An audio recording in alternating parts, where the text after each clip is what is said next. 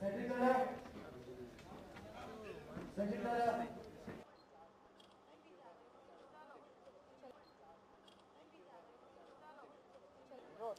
Show अपने आप में बहुत यूनिक शो है, क्योंकि डांस ड्रामा और पूरा पूरा एक पैकेज है एक एक्टर के लिए।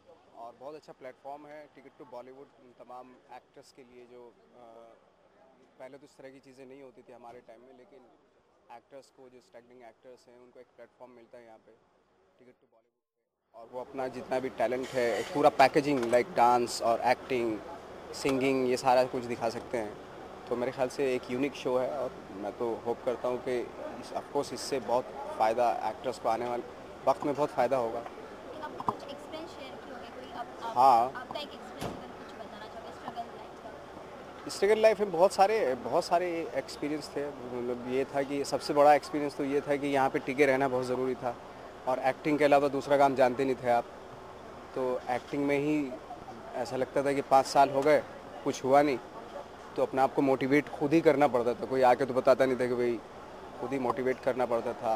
और जैसे एक्टर से यहाँ अंदर भी डिस्कशन हो रहा था कि अपने आप को एक्टिंग फ़ील्ड में लेके आना है तो साल मत गिनिए, क्योंकि अपॉर्चुनिटी कभी भी मिल सकती है। आप अपने काम हार्ड वर्क और ऑनेस्टी के साथ काम करते रहिए तो अपॉर्चुनिटी जब मिलती है तो उसके लिए आप पूरी तरीके से प्रिपेयर रहने चाहिए। पता चला कि अपॉर्चुनिटी मिल गई, आपको एक्टिंग का असाइनमेंट मिल गए, कोई फ़िल्म मिल गई, और उस वक्त पे आप काम करने के लिए, के लायक नहीं रहे, क्योंकि यहाँ पे आपका कोई गॉडफादर तो है नहीं। सब कुछ आप ही को करना है। फ्रेश भी आपको रहना है, एक सही दिमाग, संतुलन बना के भी रखना है, चाहे दस साल लगे या बीस साल लगे, वो बहुत ज़रूरी है।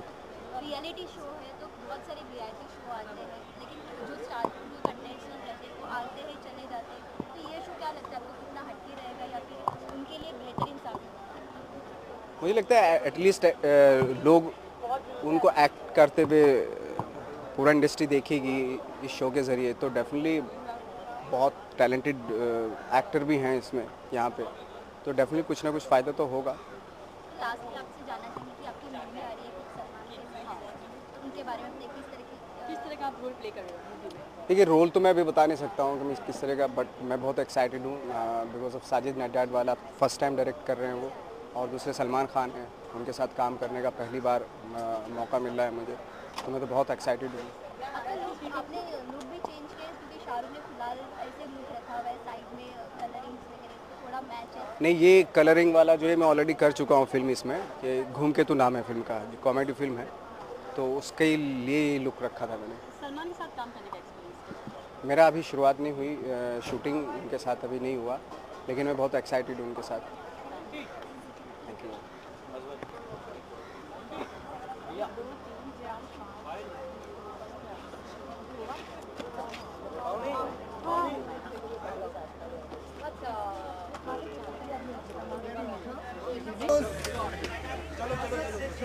चलो भाई साइड हो साइड चलो भाई साइड हो साइड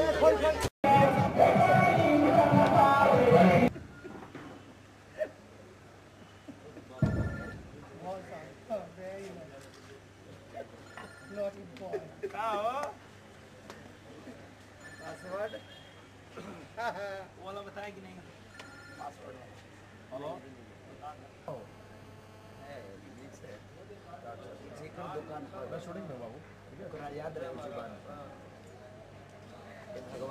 भगवान जी पासवर्ड लगा के समय जेकर हम चढ़े मचा हाँ ठीक है ठीक है। बोलता हूँ। अभी तो इसमें नहीं है, आगे बताता हूँ।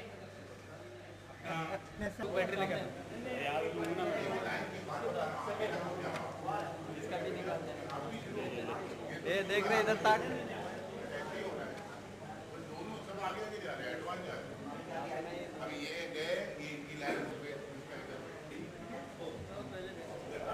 Cadê?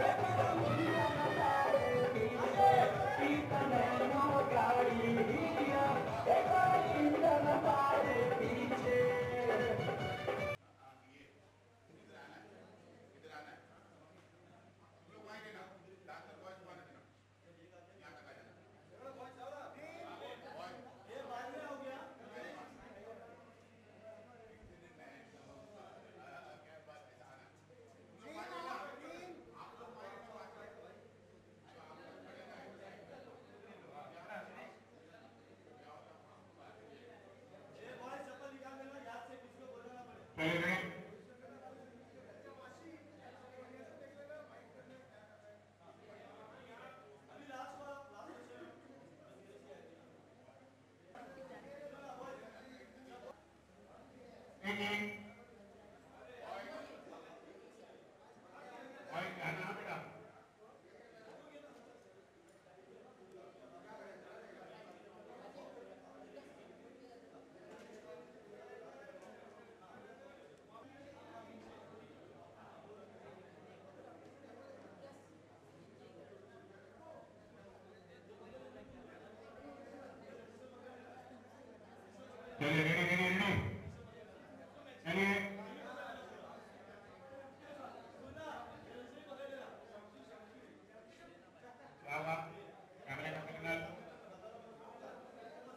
మొదటిలో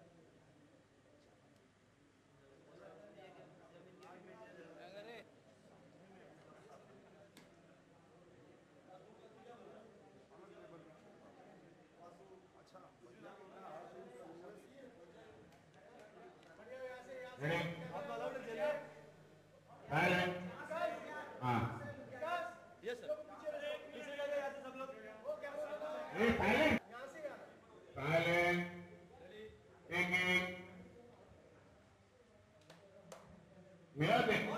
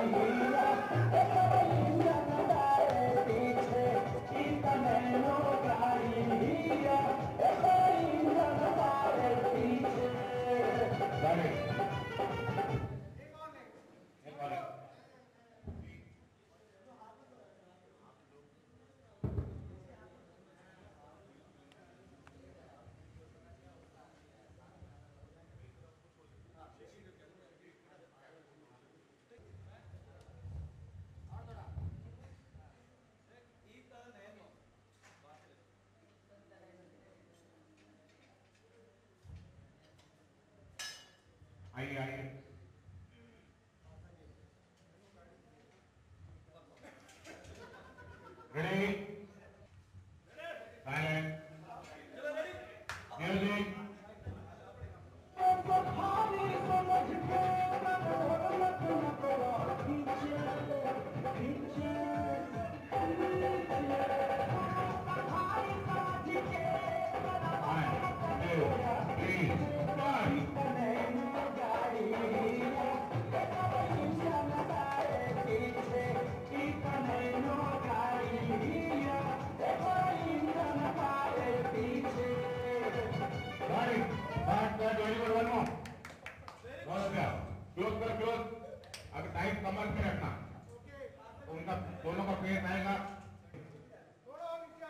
और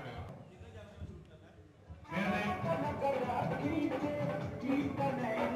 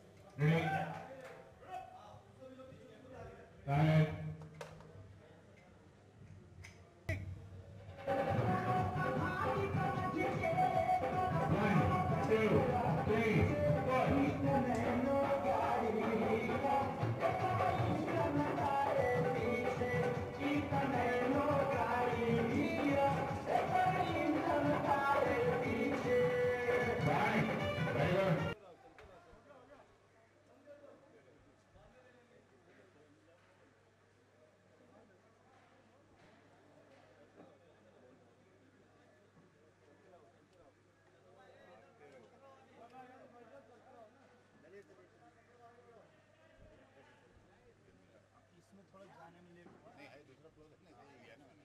उसकी कटिंग ले लिया। अभी आई लास्ट कटिंग आइए बैठिए। नहीं नहीं नहीं बस।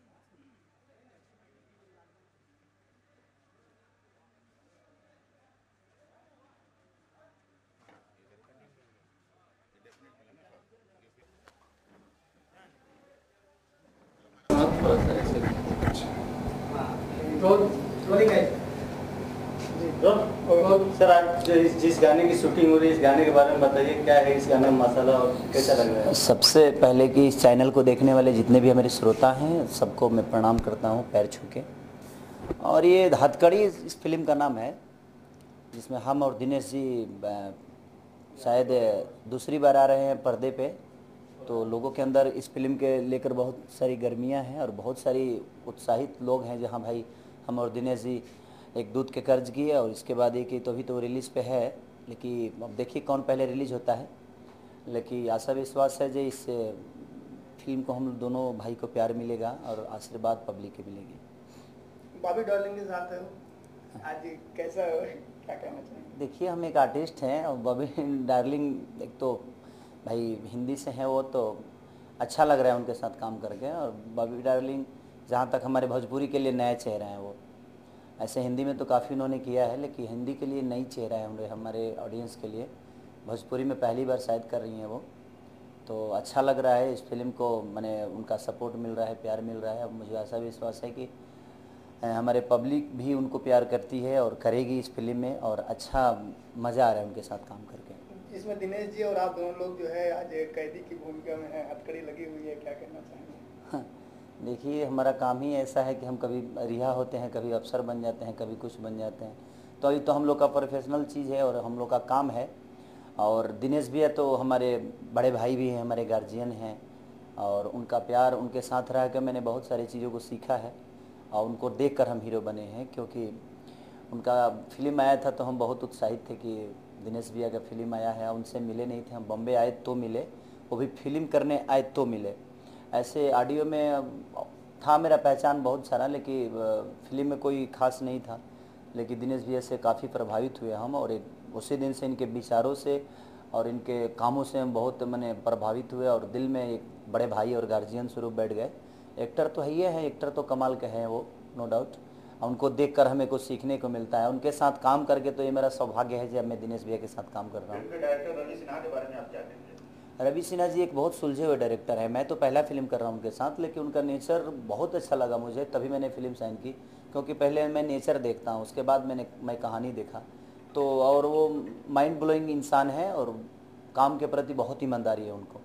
क्योंकि हम जब ये लिरिक्स पे बैठे हैं, गाने पे बैठे हैं म्यूज़िक पे बैठे हैं तो इंसान चार बजे सुबह तक हमारे साथ बैठकर और सारा चीज़ की कि, सारी चीज़ ऐसे किया जाए, वैसे किया जाए। तो एक डायरेक्टर के लिए बहुत प्लस हो जाता है कि अगर अपने काम को लेकर इतनी ईमानदारी उसके अंदर है तो अच्छा लगता है मुझे बहुत अच्छा लगता है। आप इस फ़िल्म में जेल में ही कैद नज़र आएँगे या प्रेम में भी कैद नज़र आएँगे? नहीं प्रेम में कैद हैं। अब कौन ऐसा हीरो है जो प्रेम में कैद नहीं होगा? हम बच्चे कैसे हैं? क्योंकि इसमें हमारी एक हीरोइन है नई है जो बंगाल से हैं सपना मुखर्जी शायद की चटर्जी ऐसा कुछ नाम है। सर- सपना बनर्जी। तो अच्छा लगा वह बहुत अच्छी आर्टिस्ट हैं नेचर वाइज बहुत अच्छा नए लगता नहीं है जो नए हैं। हमारे साथ बहुत अच्छा मैंने हम लोग का जोड़ी बहुत अच्छा लग रहा है और मज़ा आ रहा है उनके साथ काम करके। इस फ़िल्म में अपनी भूमिका के बारे में आप बताइए। भूमिका मेरी मैं एक पुलिस थानेदार रहता हूँ और थानेदार में ऐसी कुछ घटनाएँ होती है जो मुझे जेल हो जाती है। और दिनेश भी अभी थानेदार ही रहते हैं और यही मुझे खुद जेल में बंद करते हैं। और ऐसे मुझे सिचुएशन में फंसा दिया जाता है विलेन द्वारा जो मैं फंस जाता हूँ और मुझे खुद ये जेल में डालते हैं और सेम सिचुएशन इनके साथ भी वैसा ही कुछ घटना घटता है, जो इनको भी जेल में तो हम दोनों का टसन उसी समय से रहता है और काफ़ी फाइट है हमारे दिनेश भैया के साथ में, मैंने बहुत ज़्यादा फाइट है। और उसके बाद हम दोनों मिलते हैं, पता लगाते हैं, जेल से भागते हैं, भागने के बाद समझ में आता है और उस चीज़ को पता लगाते हैं कि हमें फंसाने वाला कौन है। उसके बाद बहुत सारी माँ के साथ इमोशन मेरा दिनेश भैया के साथ इमोशन उनके घर परिवार उजड़ जाने का भी इमोशन बहुत सारी चीज़ें जुड़ी है जो हमारे घर से उठाई चीज़ें हैं ये हमारे देहात की चीज़ें हैं जो अक्सर ऐसा होता है कि एक दूसरे के अनविश्वास के कारण बहुत सारी चीज़ बिगड़ जाती है हम सच्चाई को पता लगाने में टाइमों लग जाता है तब तक किसी की सज़ा हो जाती है। वो सारी चीज़ें होती है तो उसी सच्चाई को पता लगाने जब हम जेल से निकले हैं तो पता लगा के और उसको अंजाम तक पहुंचाते हैं। इसमें आप गाना भी गाए हाँ? करीब गाना मेरे फ़िल्म में सारा गाना तो खुद मैं ही गाता हूँ। ये पब्लिक का प्यार है कि अगर दूसरा कोई गाता है तो मेरे से अच्छा तो गाएगा वो लेकिन लोगों को अच्छा नहीं लगता है। तो काफ़ी ऑडियंस को प्यार मिलती है मेरे गानों को तो इस में मेरा पाँच से छः गाने हैं इसमें और दिनेश भैया के बाकी गाने हैं। तो अभी जो अभी शूट हो रहा है उसका गानी है गाना है मरे सोम सफारी समझ के कर भर नट लगल खींचे। ई तनय लोहिया गाड़ी, एकर इंजन बावे पीछे।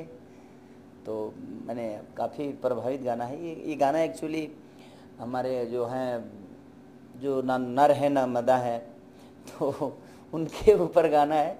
और दोनों, एक थोड़ा सा द्वर्ती है, लेकिन अक्सर उनके लिए कोई गाना आज तक बना नहीं था तो हमारे दिमाग में ऐसा आया तो हमने बनाया कि भाई नैनो का इंजन पीछे होता है। अपने ऑडियंस के मज़ा के लिए मैंने बनाया ऐसे गलत कोई चीज़ नहीं है। और इसमें सारे हमने गाड़ी को ऊपर कि हाँ भाई एक वही ऐसी गाड़ी है जिसका इंजन पीछे होता है। बाकी सारे गाड़ियों का इंजन आगे होता है। वही ऐसी गाड़ी है जिसका इंजन पीछे होता है। तो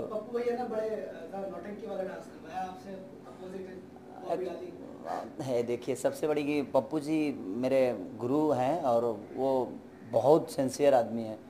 और काम के प्रति तो उनका ईमानदारी दिखता है। इस उम्र में भी उन्होंने इतना अच्छा काम कराते हैं बच्चों की तरह अपने बेटे की तरह मानते हैं हमें। और बहुत मज़ा आता है उनके साथ काम करके। मैंने उनके साथ पहला फ़िल्म किया था नागिन। तो काफ़ी अनुभव था। उसके बाद उनके साथ मेरा फ़िल्म हुआ प्यार झुकता नहीं संसार। उसके बाद ये मैंने चार पाँच छः फ़िल्म हमारे साथ वो किए हैं जो कि बहुत अच्छा मुझे उनके साथ अनुभव हुआ और कुछ सीखने को मिला। क्योंकि ये लोग इतने अनुभव हैं जितनी इनकी अनुभव है हमारी उतनी उम्र हुई। तो सीखने को मिलता है और मज़ा आता है जब अपने सीनियर के साथ आदमी काम करता है तो। जब भैया इलेक्शन का दौर है बहुत ज़बरदस्त वाला आपकी फ़ैन फॉलोइंग बहुत बड़ी है और आपने वैसे भी अपील की थी पहले भी। लेकिन अब क्या बदलाव देखना चाहेंगे सरकार में और किस किस को जीतते हुए देखना चाहेंगे? देखिए हम ऑडियंस हैं। और हम एक एक्टर हैं तो हम, हमारे लिए सब है। हमारे लिए कांग्रेस भी उतना ही है, आम आदमी पार्टी भी उतना ही है ललटेन छाप भी उतना ही है, तीर उतना ही है, और कमल छाप भी मेरे लिए उतना ही है। और अक्सर तो बात ऐसा है कि मेरा वोटर लिस्ट में भाई नामे नहीं है। इसीलिए मैं सबका सपोर्ट करता हूँ कि भाई ना मेरे पास कोई पहचान है, ना मैं एकलौता किसी को सपोर्ट करूँगा। क्योंकि हमारे लिए सब है। हम कलाकार ऐसे होते हैं कि ना ही हमारा कोई पार्टी होता है और ना ही कोई जात होती है, ना ही मेरा कोई धर्म है। हमारा कलाकारी धर्म है, हमारा कलाकार ही जात है, हमारा कलाकार ही नेता है, हमारा कलाकार ही सरकार है। तो हम एक अलग सरकार में जीते हैं, इसीलिए हम किसी सरकार के बारे में नहीं बोल सकते। ऐसे मोदी जी के लिए मैं भी प्रार्थना करता हूँ कि भाई हमारे देश में मोदी जी आएँ, क्योंकि हमने काफ़ी चर्चे सुने हैं। क्योंकि हम गुजरात में जाते हैं तो हमें काफ़ी हेल्प मिलती है मोदी जी से। और उनके सरकार में हमें कोई डिस्टर्ब नहीं होता है, और हम बहुत अच्छे तरीके से शूट कर पाते हैं। और वहाँ की व्यवस्थाएँ बहुत अच्छी लगी। तो हमें लगा जी थोड़ा भी व्यवस्था अगर गुजरात की तरह हर एक स्टेट में सुधर जाए तो अच्छा रहेगा। तो ज़ाहिर सी बात है सकता है अगर जिस तरह अपने स्टेट को किए हैं, उस हमारे स्टेट को भी ऐसा ही करेंगे। थैंक यू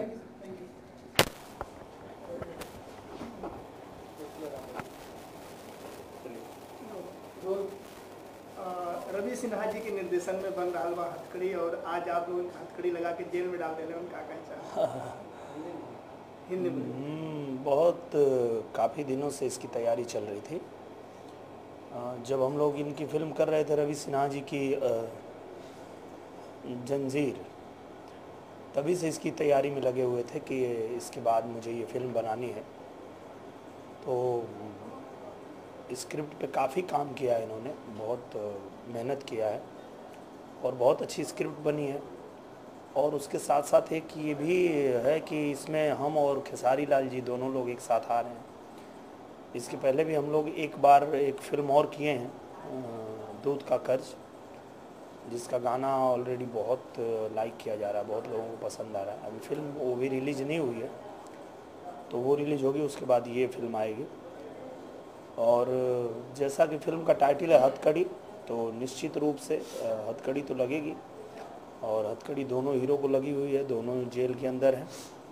और दोनों अलग अलग कहीं ना कहीं कारण से जेल में आते हैं अलग अलग अपने जीवन में जूझते हुए जेल के सलाखों के पीछे पहुँचते हैं। लेकिन कहीं ना कहीं दोनों का जो दुश्मन है, वो एक ही है।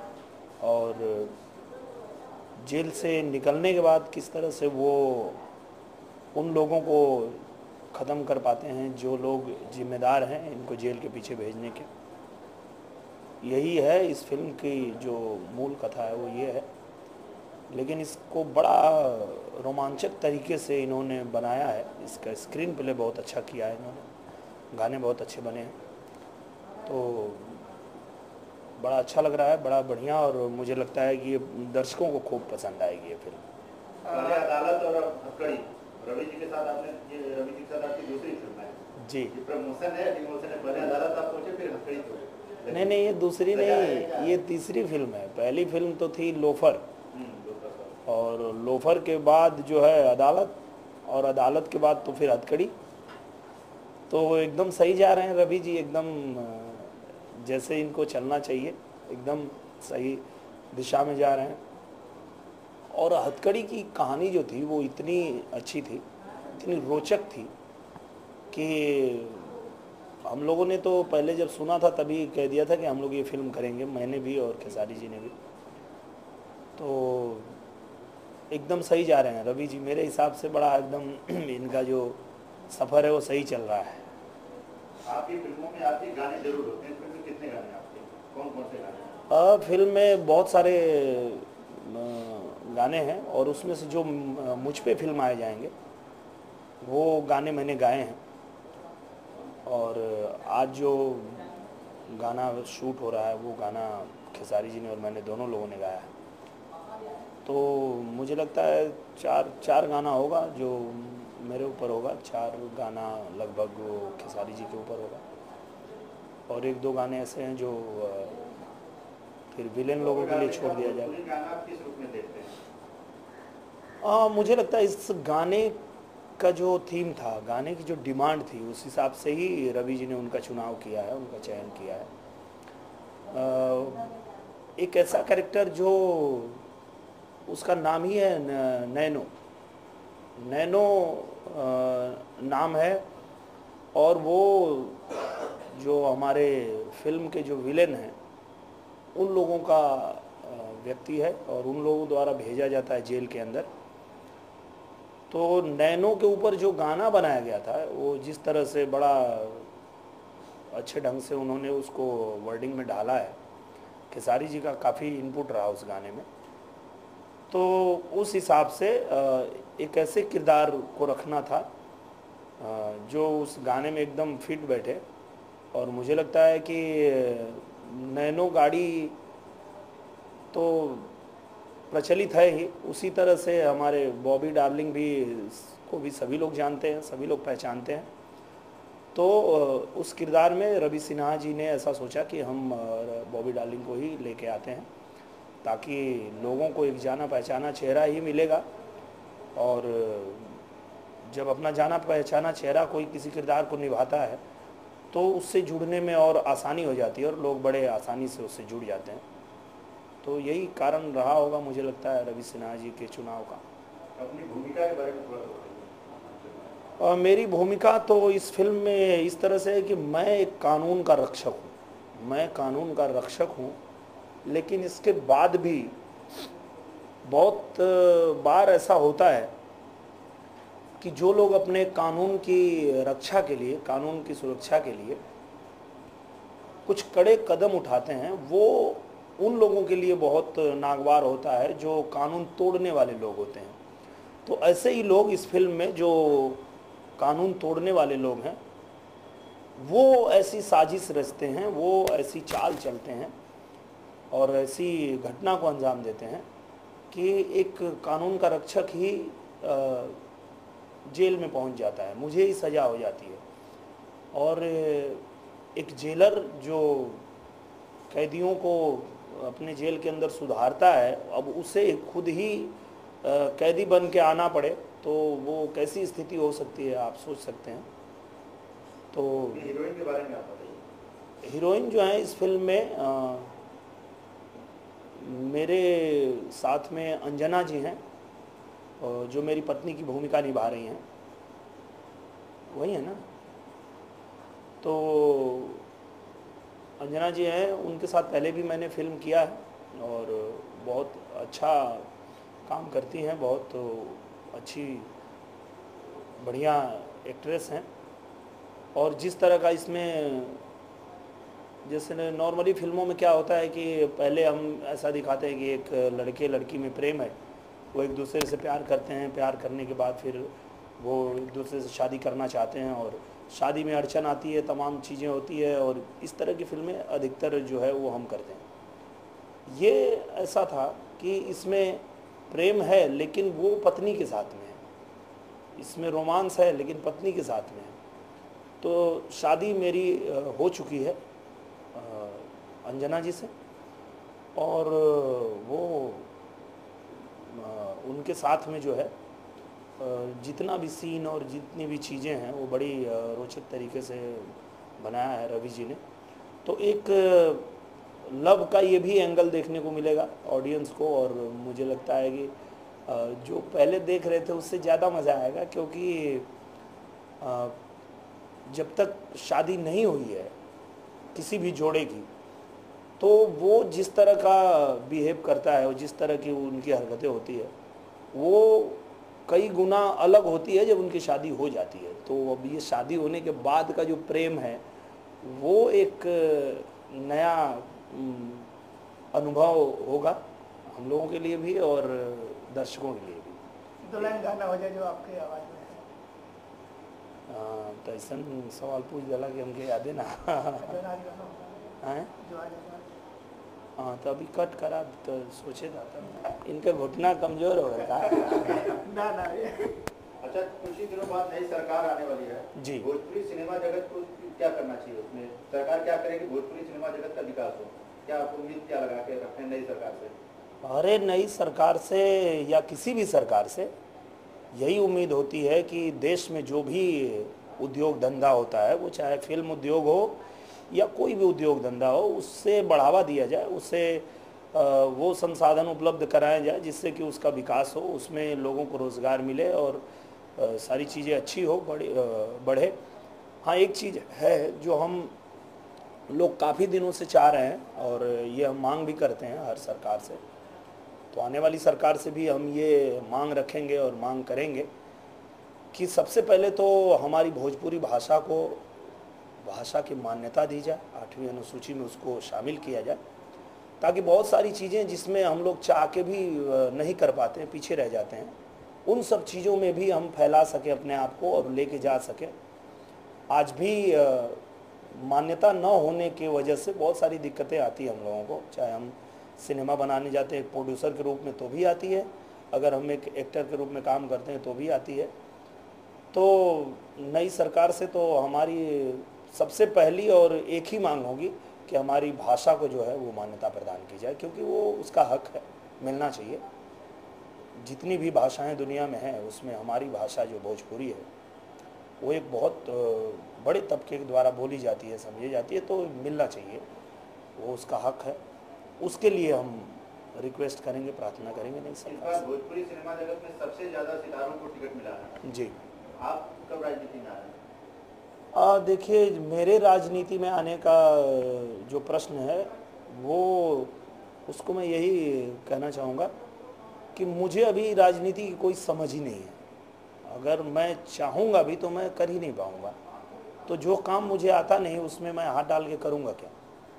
क्योंकि भोजपुरी इंडस्ट्री से जिन लोगों को राजनीति में टिकट मिला है, जो लोग टिकट लेके और चुनाव लड़ रहे हैं काफ़ी अनुभवी लोग हैं, उनको काफ़ी अनुभव है। राजनीति का भी अनुभव है, राजनेताओं का भी अनुभव है, बहुत सारा उनके पास है तो वो कर सकते हैं। हमारे लिए बिल्कुल नई चीज़ होगी और वो हमारे, मुझे लगता है कि अभी हम उस योग्य नहीं हैं कि हम उसमें हाथ डालें। तो उसके लिए अभी समय है, मुझे अभी बहुत कुछ सीखना, समझना है, बहुत कुछ जानना है। और जब उस योग्य हो जाऊँगा और मुझे लगेगा कि हाँ मैं कर सकता हूँ तो ज़रूर करूँगा। थैंक यू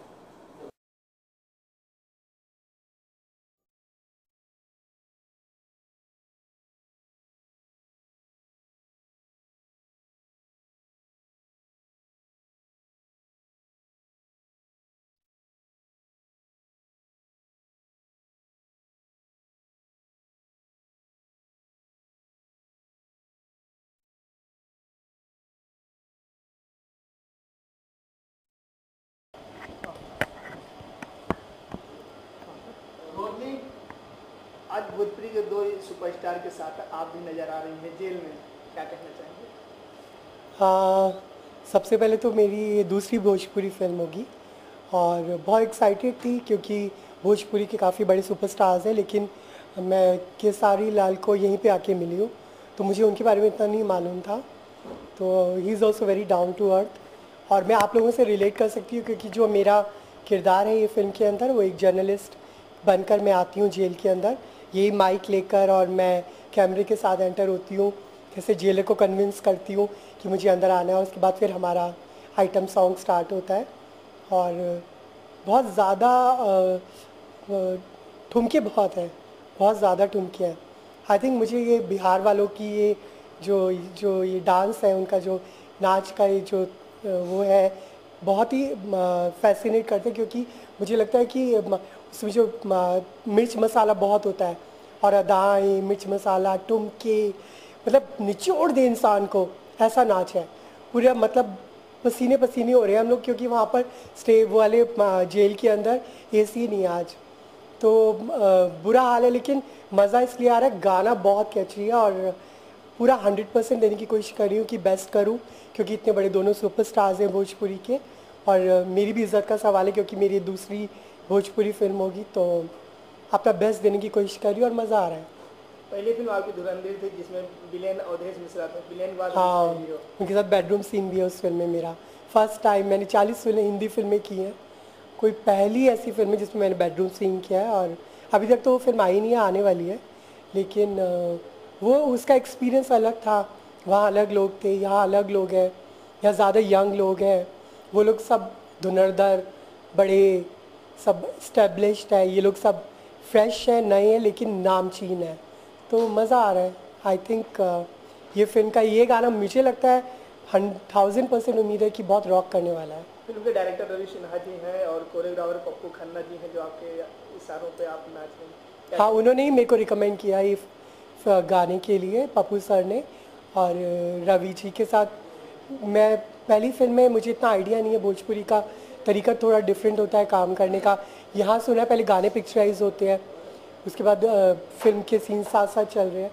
लेकिन डिफरेंट एक्सपीरियंस है और रवि सर ने जब अप्रोच किया और पप्पू सर ने रिकमेंड किया था मुझे और मज़ा आ रहा है एक्सपीरियंस डिफरेंट है लेकिन बहुत मेहनत है क्योंकि ठुमके बहुत ज़्यादा है और अंदर एसी भी नहीं है तो पूरे हम लोग अपना हार्डवर्क देखो कहीं स्वेट हो रहा है, दिक्कत हो रही है, लेकिन उसके बावजूद भी एक्सप्रेशंस डांस सीक्वेंस आपको डांस के आपके जितने भी मूवमेंट्स हैं, आपको सब याद रखना लिप सिंकिंग किसके साथ क्या कनेक्शन है, क्या केमिस्ट्री बिठानी है और निरुआ थोड़े से सीरियस लगे मुझे तो उनके साथ मैं इतनी जल नहीं हो पाई बट हाँ जो दूसरे हैं केसरिया तो उनके साथ मज़ा आ रहा है, क्योंकि उनके साथ अभी कंफर्ट लेवल अच्छा हो गया तो रवि सिन्हा जी, जो फ़िल्म के डायरेक्टर उनके साथ कितना कंफर्ट है? उनके साथ अभी इतना ज़्यादा गुफ्तगू नहीं हुई थोड़ी सी बातचीत हुई क्योंकि मेन जो हमारे मास्टर जी है, वो कोरियोग्राफ कर रहे हैं शो को इसको गाने को और उसके बाद जब सीन होगा तब मालूम चलेगा रवि की चीज़ के साथ मेरा कनेक्शन और नाम तो बहुत सुना है और देखते हैं अभी। कुछ कमाल ही होने वाला है फ़िल्म में क्योंकि अब इसमें बॉबी डार्लिंग आ गई है, क्योंकि मैं हूँ हाटी नॉटी बॉबी डार्लिंग अपनी अदाओं से अपने जलवों से ये फ़िल्म के गाने के अंदर मैं आग लगा दूँगी। सीमा सिंह को भोजपुरी फ़िल्मों का डांसिंग क्वीन कहा जाता है। वो कौन है? वो कौन है? डांसिंग क्वीन भोजपुरी फ़िल्मों की डांसिंग क्वीन माना जाता है। उन्होंने पाँच सौ से ज़्यादा आइटम नंबर किया है। वो कौन है? मैंने 40 फ़िल्में की है। मेरा नाम लिमका बुक ऑफ़ रिकॉर्ड्स में है। अब गिनीज बुक में मेरा नाम जा रहा है। अरे हम भी धुनहरदर हैं। हम लो प्रोफ़ाइल रखते हो अलग बात है। मैं तो नहीं जानती हूँ सीमा सिंह। एक्सक्यूज मी संभावना को जानती हूँ ऑफ़ कोर्स वो मेरी दोस्त है मेरा गला घोट देगी वो। अगर बोलूँगी नहीं जानती हूँ।